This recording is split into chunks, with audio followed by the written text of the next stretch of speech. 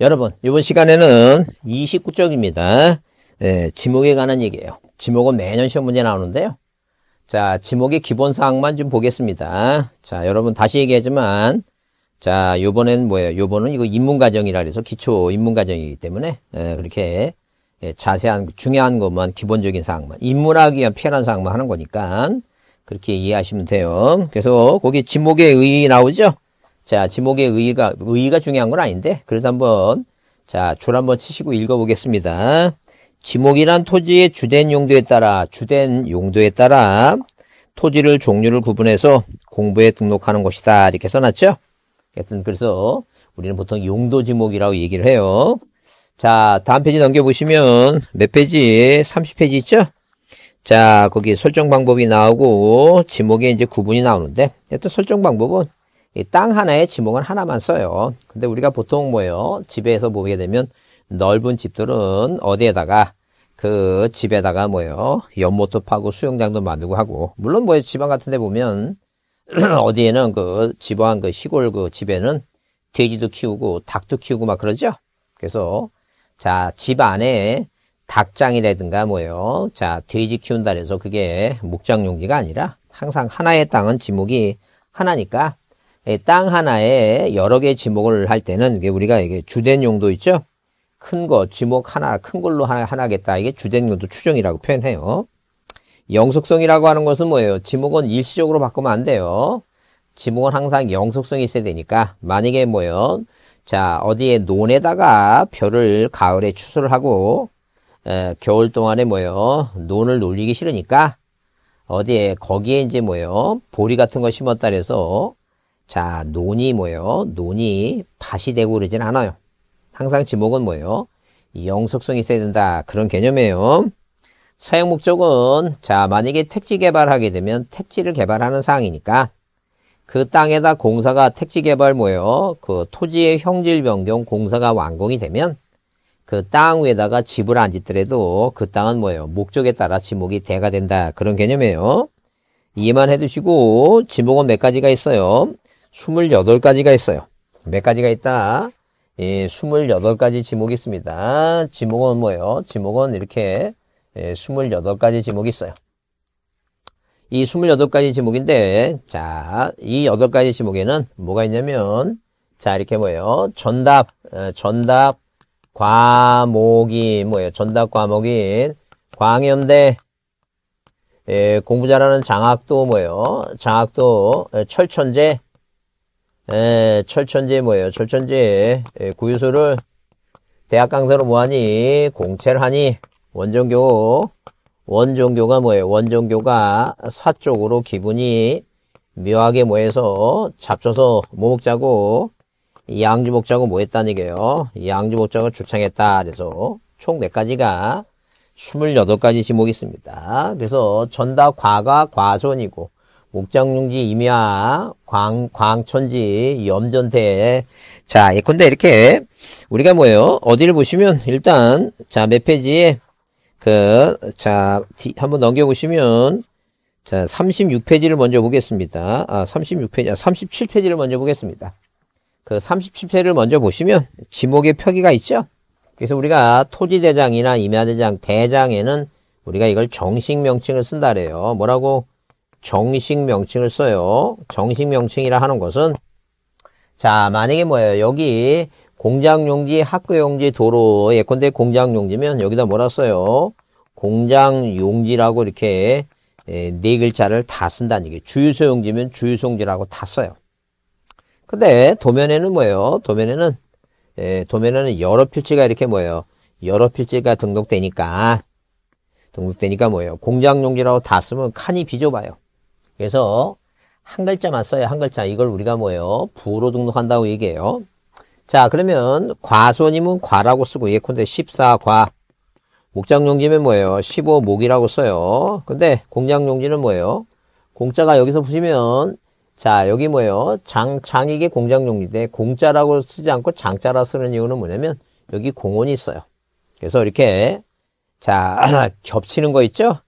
유원지는 유지하고 이렇게 여기 원자 있죠? 원초 여기 뭐 여기 일단 여기 주차장 하면 그 차자하고 여기 원자는 유원지 있죠? 유지하고 겹쳐요. 공장 용지는 공원하고 겹치고. 근데 여기 지금 뭐예요? 자, 아, 학교 용지 있죠? 어, 여긴 하천이에요. 학하고 하하고 우리나라는 사투리가 있기 때문에 남들은 뭐예요? 확실이라고 하는데 확실이라고 하시는 분도 계시고 그래서 발음상의 문제가 생기기 때문에 요 네 가지만 네 가지만 뭐예요? 중요해요. 네 가지만 두 번째 음절을 취해요. 두 번째. 그래서 우리가 외울 때 뭐라고?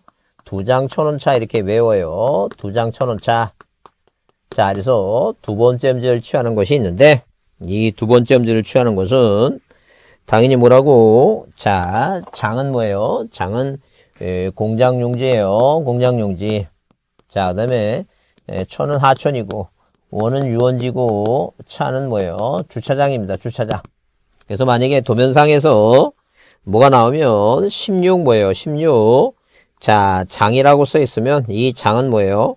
공장 용지를 얘기하는 거예요. 만약에 자, 여기다 뭐라 써 있으면 공이라고 써 있으면 뭐예요? 이건 공원이다 아니게요. 어? 예, 공이라고 써 있는데 공장 용지 그러면 틀린다. 그런 얘기예요. 어? 그렇게 이해해 두시고 자, 이걸 뭐예요? 기본적으로 지목이 뭐예요? 28가지가 있는데 이 지목은 일단 크게 네 가지로 이제 구분해 볼 수 있는데 네 가지 뭐냐면 첫 번째 특징이에요. 특징. 특징이라고 하는 것은 여러분 거기 전을 보시면 물을 자 줄쳐보세요. 저는 물을 상식으로 이용하지 않고 줄치세요. 물을 상수지지 않고 곡물, 원해작물 그렇지 나오죠? 당나무, 뽕나무 나오죠? 물을 상수로 이용하지 않고 나오면 이게 바로 뭐예요? 천이에요. 근데 답은 물을 상수로 이용하고 직접 이용하죠? 자, 왜? 답은 뭐예요? 벼라고 하는 거예요. 이 식물은. 자, 물이 많잖아요? 물이 많으면 뭐예요? 물이 많으면. 자, 일단 뚝을 터 갖고 뭐예요? 물을 빼줘야 돼요. 가물으면 뭐예요? 물을, 물을 뭐예요? 뚝을 막아 갖고 물을 뭐 해줘야 돼요? 갖다줘야 돼요. 자, 이렇게 물을 상수로 직접 이용합니다. 물 배수가 용이하다. 그런 개념이에요, 지금. 자, 이런 식으로 이런 특징을 봐야 돼요, 특징. 자, 물론 답하고는 두 번째 줄에 늪같이 용배수가 안 되는 데서 연한고를 재, 자, 연한고를 뭐예요? 재배할 때는 답으로 보지 않는다. 이렇게 써놨죠? 그래서 우리가 보통 이걸 뭐 자생한다라고 표현도 해요. 자생한다. 그래서 하여튼 물 배수가 잘 되면, 물을 직접 이용하고 배수가 잘 되면 우리가 뭐라고 얘기할 것이고, 답이라고 얘기할 것이고, 물 배수가 안 된다 하게 되면 뭐예요? 그건 유지다. 이제 이런 게 특징이에요. 자, 두 번째는 뭐예요? 두 번째, 자, 단소 조항이 있어요. 다만 단소 조항이 있고, 세 번째 A 안에 A, A 안에 B예요. A 안에 B. 그 다음에 네 번째가 잡종제예요. 자, 자, 어떻게 머릿속에 공부할 것인가 이해를 좀 해주시면 돼요. 예, 근데 거기 쌍가르 3번의 과수원에서 다만 단소 조항 나오죠? 예, 주거용 건축물 부지니까 호더나무, 밤나무, 배나무를 집단적으로 재배하면 이건 과손이에요. 근데 자 과손 내 주거부지 있죠? 그래서 여기 쌍가르 3번 과손하고 쌍가르 4번 목장용지 있죠? 이 안에 있는 목장용지도 단소조항 다만 거기 주거용 건축물 부지는 대로 본다 그랬어요. 그래서 우리가 몇 가지 이 지목 28가지 중에 세 가지 중에 과손 내 주거부지, 목장용지 내 주거부지, 그 다음에 뭐예요? 어디에 묘지를 관리하는 건축물 부지, 묘지를 관리하는 건축물 부지 있죠? 그래서 묘지를 한번 보시면, 묘지가 어디 나와요? 자, 34쪽에 거기 23번에 묘지 나오죠? 거기 단서조항 다만 있어요. 묘지를 관리하는 건축물 부지는 뭐로 한다고? 대로 한다. 이렇게 나오죠? 그래요. 이런 단서조항 보시는 거예요. 물론 거기 쌍가리 6번 작년에 시험에도 나왔지만 광천지 있죠? 광천지. 그래서 이 석유류라든가 온수물, 약수물이 뭐예요? 펑 하고 쏟아져 나오죠? 자, 이런 용출, 쏟아질 용, 날출자, 이렇게 밖으로 빠져나오는 용출. 용출이란 단어가 나오면 광천지예요. 근데 거기 단서주황, 온수, 약수, 석유류 등을 일정한 장소로 옮기는 송유관, 송수관 나와요. 뭐가 나온다고? 송유관. 에, 송수관 있죠? 송유관, 송수관. 이렇게 관자가 붙어 있으면 이건 잡종제예요. 물론 그냥 송소라는 단어가 나오게 되면 이건 수도용지예요. 수도용지. 자, 이런 특징들을 받으셔야 돼요. 그래서 어디 여러분 33쪽에 거기 쌍가루 17번 수도용지 나오죠? 물을 정수해서 공급하기 위한 추수는 끌어들이는 것이고 물을 끌어들여 갖고 뭐예요? 불순물 진흙 저 불순물을 밑으로 가라앉히죠. 진흙 같은 가라앉히는 게 저수구. 그 다음에 예, 정수에서 뭐예요? 정수 그 다음에 송수하죠. 송수. 정수는 뭐예요? 약품 처리해 갖고 물을 뭐예요? 송수해 주죠. 그러니까 송수라는 단어가 나오면 수동제예요. 송수하면 수동제. 그 얘기예요, 지금. 자, 그래서 이런 특징 보시고 큰 거 안에 작은 거, A 안에 큰 거 안에 작은 거라고 하는 것은 어디에 뭐 예컨대 만약에 거기 자 32페이지에 도로 나오는데 자 거기 도로 중에 에, 거기 세 번째 점.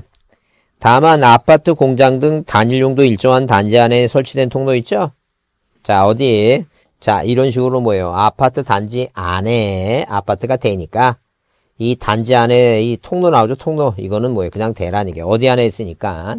아파트 단지 안에 있으니까 그렇다. 그런 얘기예요. 자, 그 다음에 뭐예요? 그 다음에 어디에 예컨대 만약에 뭐예요? 예컨대 자, 거기 그 목장 저 뒤에 넘겨 보시면 어, 디에? 34쪽에. 자, 22번 사족지 나오는데 사족지에 거기 다만 학교용지, 공원, 종교용지 등 다른 지모로 된 토지 안에 동그라미 치고 어디 안에? 우리 시험 문제 송리산 법주사 안에. 법주사가 종교용지죠? 절이죠? 법주산에 쌍사자 석등 나오게 되면 법주사 종교용지 안에 있으니까 종교용지로 봐야 돼요. 그 다음에 거기 다음 페이지 그 쌍가루 26번 보시면 주유소용지 나오죠? 거기 단서조항 다만 자동차, 선박, 기차 등 제작 또는 정비공장 안에 설치된 급유소용 안에 있죠? 안에 공장 안에 있죠? 어, 공장 안에 있으면 공장 용지로 보는 거예요. 자, 송류, 송이수동. 그래서 우리가 보통 보게 되면 기름 나와서 자, 송수라는 단어가 나오면 수도용지, 송수 관하면 잡종지고, 어? 잡종지고, 그 다음에 용출하면 광천지고, 어디 안에 있다고? 공장 안에 있는 것은 뭐예요? 그냥 공장용지로 봐야 된다.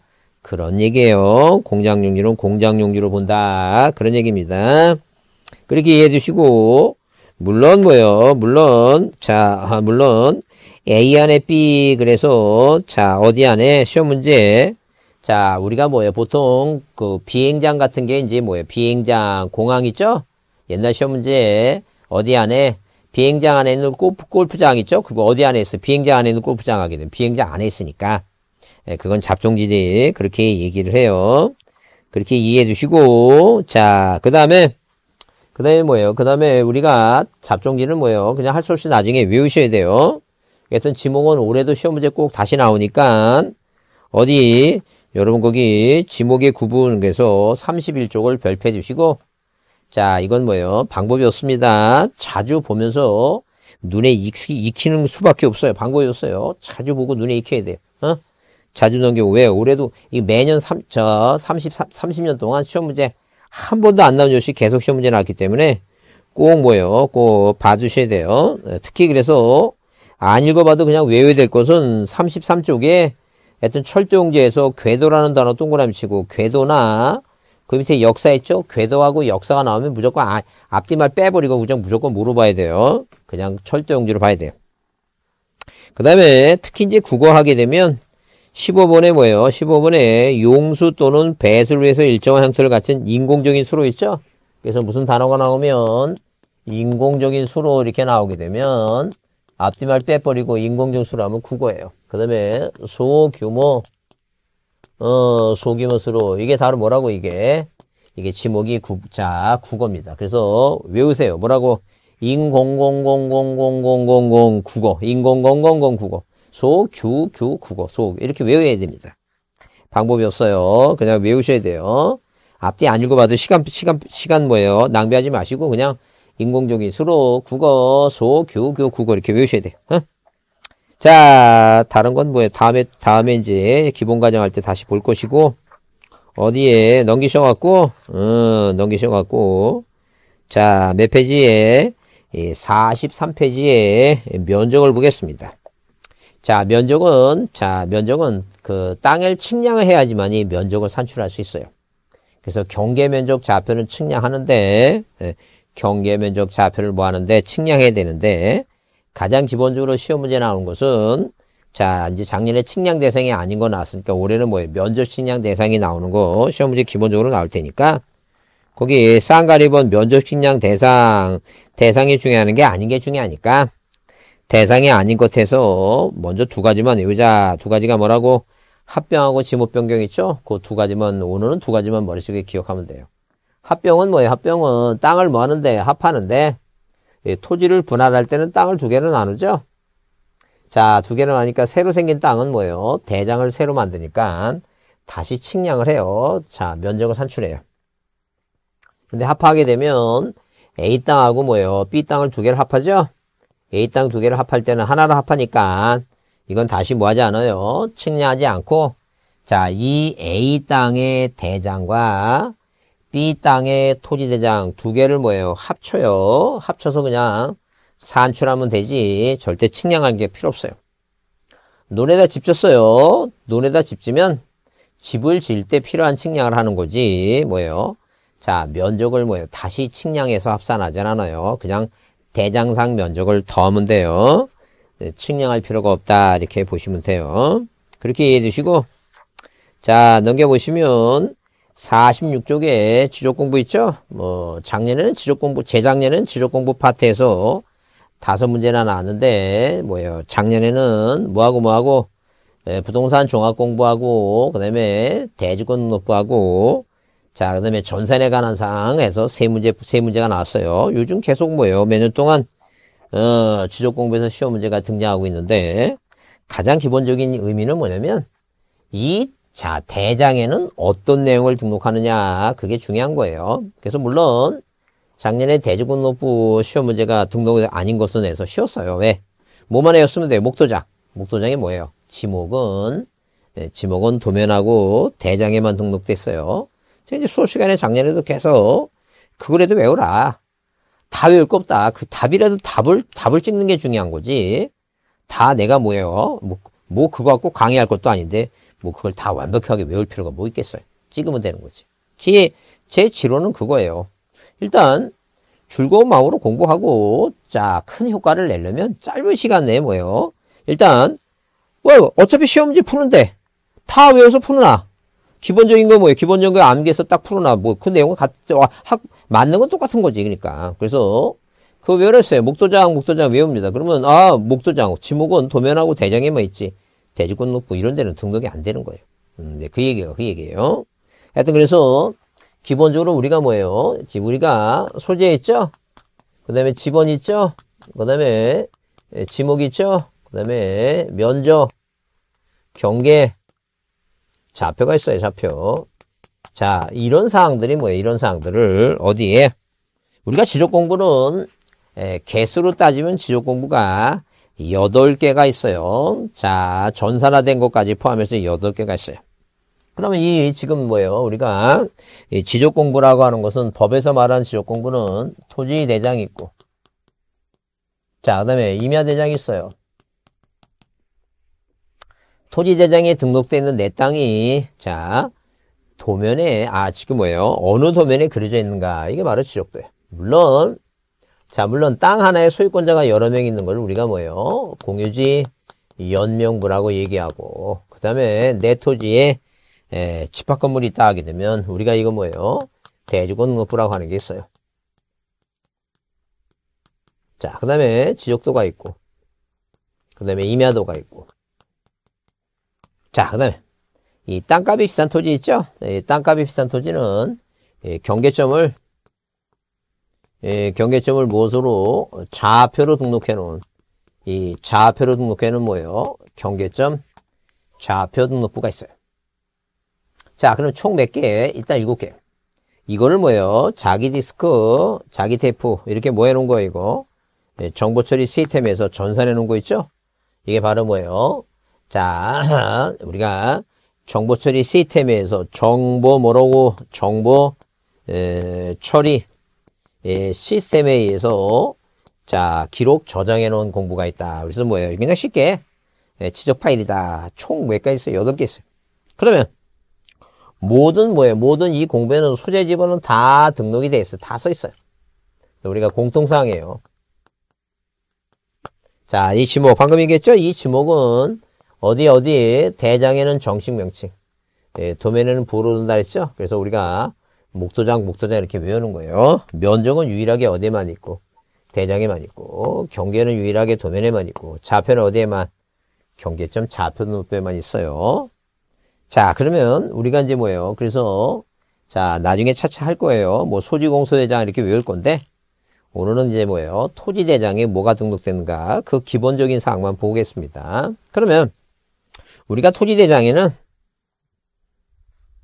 자 이런 식으로 토지대장에는 뭐예요? 토지대장 이렇게 에, 토지대장에는 어, 대장에는 자 우리가 기본적으로 제가 맨날 수업 시간에 이제 하는 게 있어요. 자 예컨대 소재가 충청남도 소천군 장옥성 이게 소재죠? 100번지 있죠? 이게 지번이에요. 그 답 이게 지목이에요.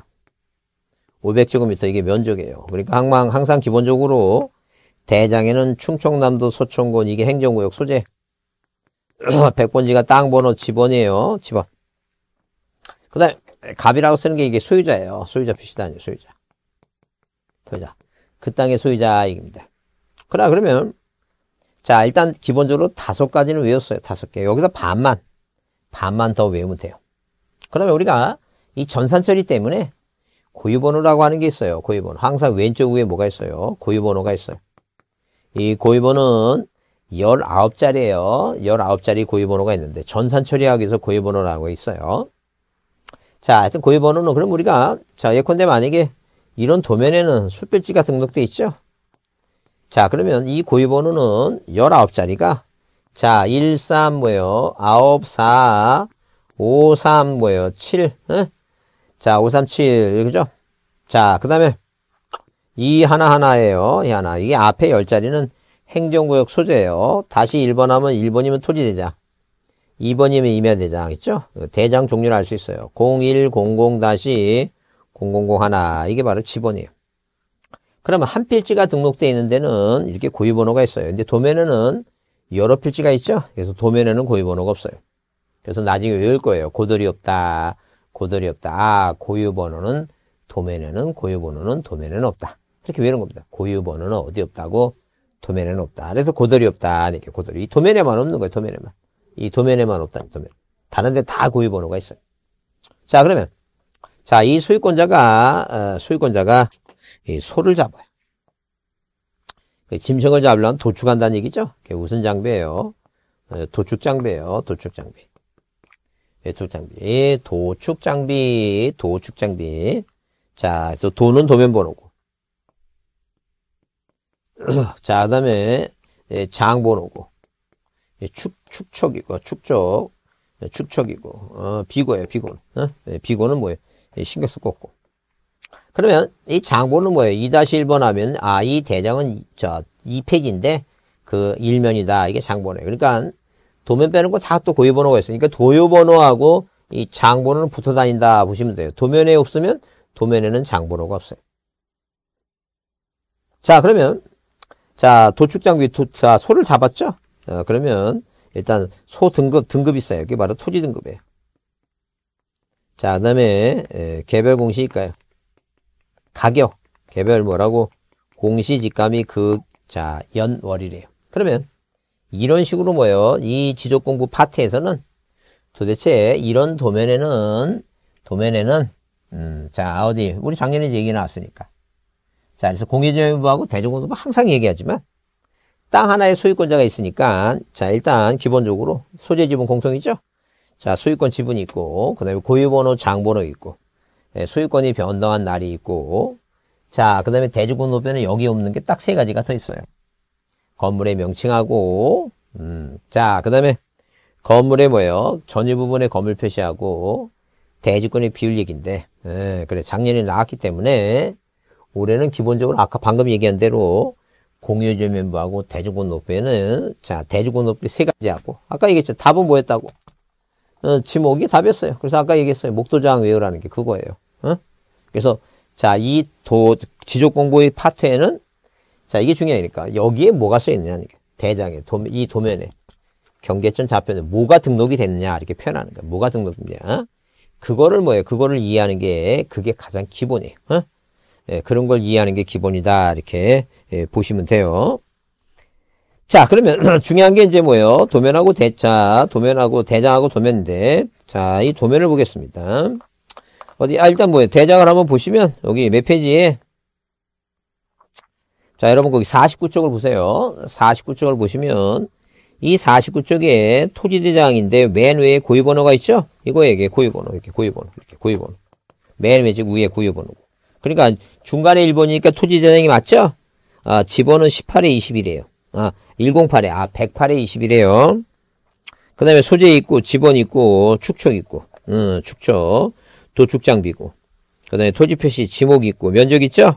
그 다음에 여기 이제 중간에 뭐가 있어요? 면적 옆에 이동 사유가 있어요. 그래서 이런 문제도 나왔어요. 다음 중 토지의 이동 사유, 토지의 이동 사유 가 등록된 공부가 뭐냐라는 문제도 있었어요. 자, 그 다음에 이제 그 아래 이제 등급 밑에 이제 개별 공시니까 이게 대장에 이런 내용이 써 있는 거예요. 그 다음에, 자, 넘겨보시면. 자, 넘겨보시면 어디에 53쪽에 지적도 임야들을 보겠습니다. 자, 도면을 보시면 의의를 한번 읽어볼게요. 자, 53쪽의 의의, 대장에 등록된 토지에 관한 사항을 알기 쉽게 도시 그림으로 도시에서 놓은 것보다 자 그래서 소관청은 필지의 경계를 공시하기 위해서 도해 지역의 도면을 작성해서 그 지적 속에 비치 보전한다 이렇게 해놨어요. 자 그래서 일단 기본적으로 그 도면에는 어떤 내용이 있냐 그 얘기입니다. 그러면 55쪽에 보시면 55쪽에 자 얘기해요. 자, 기본적으로 뭐예요? 기본적으로 내 땅이 어, 이 도면 번호가 있죠? 내 땅이 왜 9번이에요? 도면 번호가. 그러면 이 대한민국 전국 방방곡곡에 이렇게 대한민국 이 전국 방방곡곡에 국토를 혈조로 관리하기 위해서 이게 38도 선이에요. 그 다음에 125도, 127도, 129도라는 125도, 127도, 129도라는 이 가상원점이 있어요. 가상원점. 이 가상원점에서 뭐가 있어요? 위성과 뭐가 있다? 위성과 경선이 있어요.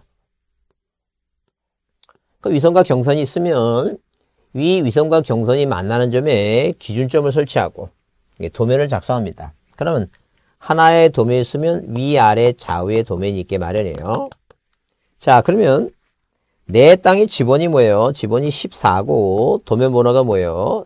도면 번호가 9라면 이 지독도 임야도 도면을 보게 되면 십자가 모양 있죠? 이렇게 왼쪽 위에 도면의 왼쪽 위에. 여러분 책 어디에? 55쪽의 위에 보면 십자가 모형 지족도 예라고 써있죠? 55쪽 위에 거기. 예? 있죠? 그래서 7, 8, 9, 10, 13 이렇게 7, 8, 9 자, 7, 8, 9, 10 음, 10, 13 이렇게 써있죠? 자 이게 바로 뭐예요? 이걸 우리가 색인도라고 얘기해요. 이 차지색자 색인표. 옛날에 그 색인표 색인표 있죠?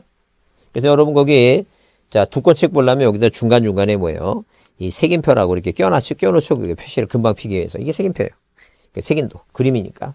그러면 내가 찾고자 하는 도면이 9번이에요. 도, 도면 번호가. 그러면 이 중간 번호를 찾아가는 거예요. 만약에 여기가 8번 돼 있으면 왼쪽, 여기 이제 이렇게 다 보여요. 다 이렇게 십자가 모양이니까. 모양을 만들면. 이걸 찾아가는 거예요. 중간에. 8번이 중간에 있는 걸 찾아가는 거예요. 그럼 이게 색인도고. 그 다음에 자, 이게 이렇게 네모나게 하는 게 이게 바로 뭐예요? 이게 위선이고 이게 경선이에요. 이걸 우리가 도각선이라고 얘기해요. 도면의 외곽선이다. 이게 도각선이다. 이게. 그러면 거기 이렇게 뭐야? 이렇게 돼 있죠? 그 맨 위에 뭐가 써 있어요? 14주라고 돼 있죠? 14주. 어, 이게 14. 이게 지번이고. 이게 주가 뭐예요? 주가. 이게 주유소용지예요. 근데 만약에 여기 내 토지가 만약에 지목이 주라고 하겠죠. 주라고 주유소 이게 주유소 용지라고 써 있으면 이게 내 토지예요. 이런 식으로. 내가 찾고자 하는 땅을 쉽게 뭐예요? 아, 쉽게 자 표시해 놓은 게 이게 이게 도면이에요. 지옥도. 어? 그러면 내 땅이요. 내 땅은 여기가 이게 이게 위선이고 이게 경선이니까 아, 내 땅은 이 도면상에서 북쪽에 위치하고 있다. 이 도각선이라는 건 도면의 외곽선으로서 전개 방향 있죠. 동서남북의 전개 방향을 알 수 있어요. 그러면 여기 무슨 무슨 군 무슨 무슨 면 이게 소재고 그 다음에 자 지적도 이게 도면과 뭐예요? 자 지적도 자, 이 제목과 명칭 그래서 자, 우리가 이거 제명이라 그래요. 제목과 명칭 제명. 축척이 얼마? 예, 1200분의 1이에요. 축도장이다. 축척은 도면에도 있고 대장에도 있다. 축도장 얘기입니다. 그래. 자, 이게 지번이고 14가 지번이고 그 다음에 주가 지목이고 목도장이고 그 다음에 이게 경계예요. 그래서 항상 어디에는 네, 도면에는 이렇게 뭐예요. 색인도, 도각선, 소재 지번, 지목, 경계. 자, 그 다음에 어디에 이런 식으로 이게 뭐예요. 이게 기준점 삼각점이고 막 칠해진 게 보조점이고 이게 뭐예요. 자, 도근점이에요. 그래서 경계점의 위치, 기준점의 위치, 건축물 구조물의 구조물의 위치, 경계점, 자, 기준점의 위치입니다. 그래서 여러분 거기 54쪽에 자, 도면에는 소재 지번이 있고 소재 지번 공통이고 지목 목도장 경계 있죠? 색인도가 있다 그랬죠? 제목과 축척, 축도자, 도각선과 수치 있고 그 다음에 8, 아 거기 10 9번하고 10번 그 기준점이 그 끝에 뭐예요? 기준점의 삼각점이 기준점의 뭐예요? 위치 건축물 및 뭐예요? 구조물의 위치 이게 위치라는 단어가 나오게 되면 예, 도면에만 등록이 돼 있다라고 보시면 돼요. 자 그러면 우리가 뭐예요? 땅값이 뭐한 토지는 비싼 토지는 뭐예요? 비싼 토지는 땅값이 워낙 뭐하니까 비싸니까 왜? 일단 기본적으로 뭐예요? 1제곱미터가 100원 하는 데는 자 면적이 1제곱미터가 최소 면적이니까 뭐예요 0.1까지 안 가죠 근데 명동 땅은 1제곱미터가 8천이라 그랬으니까 뭐 9천만 원이다 치자니 그 1제곱미터 굳이 0.1만 하더라도 900이죠 땅 하나하나에 그러니까 한마디로 이제 자 이런 식으로 자 어디에 이렇게 자 면적이 뭐예요 이렇게 길이가 11m하고 11m 하게 되면 121제곱미터죠? 자, 그래요. 근데, 자, 만약에 뭐예요? 0.1까지 면적을 산출하려면 11m 11cm까지. 11m 11cm. 이거를 뭐로 산출해야 돼요? 좌표라고 하는 걸로 산출해야 돼요. 그러면, 그냥 121이 아니라 123점 뭐예요? 431이에요. 그 0.1만 하더라도 뭐예요? 800만 원이에요. 면적이 있죠. 0.1만 하더라도, 자, 땅가격이 800이면 국가가 세금을 많이 거들려면 이렇게 땅값이 비싼 도시 지역은 이런 자폐로 해갖고 면적을 산출할 수밖에 없어요. 그래서 자 이렇게 경계점 좌표등록부라고 하는 뭐예요? 그런 장부에서 산출해서 이게 땅값이 뭐한 토지는 비싼 토지는 이런 토지 하나하나마다 이 경계점 간의 거리가 있어요.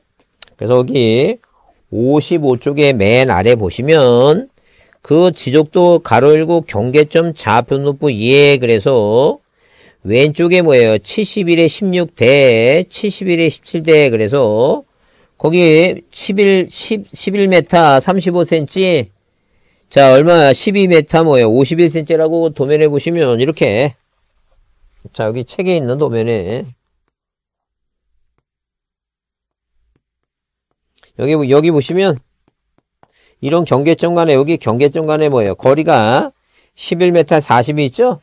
어, 그게 바로 경계점 간의 거리예요. 그게 중요하다는 점. 그래서 이런 식으로 이런 식으로 어디에서 경계점 좌표 높여서 계산해서 500분의 1인 도면에만 등록을 해요. 자, 몇 페이지에 여러분 책 거기 58페이지 보시면 그게 바로 경계점 좌표 등록부예요. 이런 경계점 좌표 등록부에서 자, 이런 뭐 여기서 이제 산출해서 축척의 500분의 1 토지는 이 뭐예요? 이 필지는 다 뭐예요? 땅값이 있으니까 요 거리죠? 요 거리를 22m 11cm, 22m 11cm, 자 18m 뭐예요? 17cm 이런 식으로 경계점 간의 거리를 이렇게 다 등록한다 이렇게 이해해 주시면 돼요. 그래서 이제 시험 문제 시험 문제 그래서 이렇게 대장하고 뭐예요? 도면의 등록상이 뭔가 자 올해도 나올 가능성이 있어요. 네, 그걸 좀 이해를 해 주시면 돼요. 자 그래서 이 지적 공부 파트는 공부에는 어떤 사항이 등록이 되느냐 네, 그런 내용을 공부하는 게 중요하다 이렇게 보시면 돼요. 자 조금 쉬었다 하겠습니다.